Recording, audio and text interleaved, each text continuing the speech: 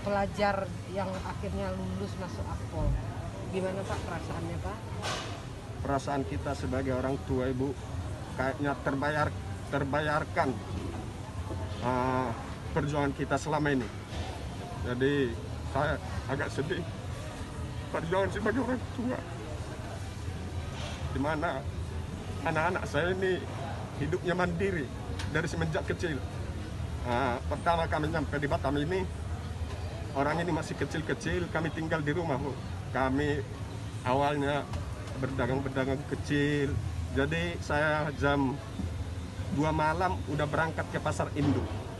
Kami tinggal. Ibunya datang ke pasar ini jam 4 Subuh. subuh. Jadi orang ini bertiga masih kecil-kecil kami tinggal di rumah. Istilahnya mau waktu TK berangkat sendiri, Bangun serap bangun sendiri. sendiri.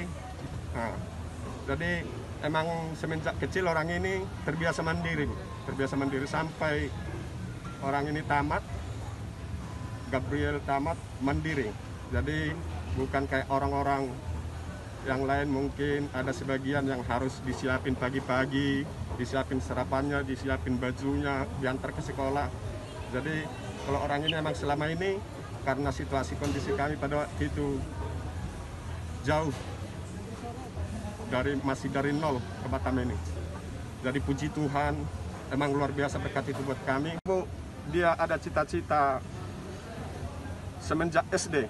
Yang waktu itu aku kalau nggak salah pas 17 Agustus, seingat saya ada kirap budaya itu dari sekolah. Jadi mungkin dia itu apa dia lihat polisi lalu lintas ngatur di jalan, ngatur orang itu pulang dia dari sekolah, Pak.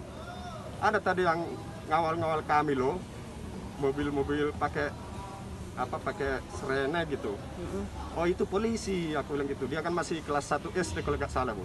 Nah, lah, aku lihat Pak bisa diatur jalan itu bagus, dia bilang. Ya itulah polisi. Emang kamu suka itu? Iyalah Pak. Dia bilang itu. Jadi singkat saya mulai dari SD dia bu, udah ada ininya minat mau bergabung ke polisi mungkin. Ah, yang dia itu fokus sebenarnya dari SMP dia udah ada rasa semangatnya bu tapi yang fokus dia mulai kelas kelas 1 SMA jadi emang benar-benar dia nggak ada main bu fokus belajar ke tempat les Eh, ada itu sampai masuk dia jam 9 malam ibu jam 9 malam pulang jam 12 malam les bu jadi satu hari itu ada kalau nggak salah itu tiga tempat les di, di ini dia diikutin dia Diikutin ya. Nah, iya. iya. Pulang dari sekolah, biasa dia telepon ibunya, Bu, apa perlu aku datang ke pasar? Nah, kalau contohnya kira-kira perlu, kalau kami di sini kan kalau sore-sore Bu kayak, kayak gini jam-jam segini udah agak sepi pembeli. Hmm? Jadi barang yang mau dipersiapkan besok kan harus dikopek bawang, dirapi-rapin dulu.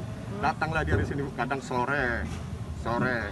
Kalau Sabtu Minggu udah di sini dia Bu, ada Pagi-pagi. Nah, pagi-pagi. Subuh, Bu. subuh. ya. Tuh, bantu Bapak di sini ya.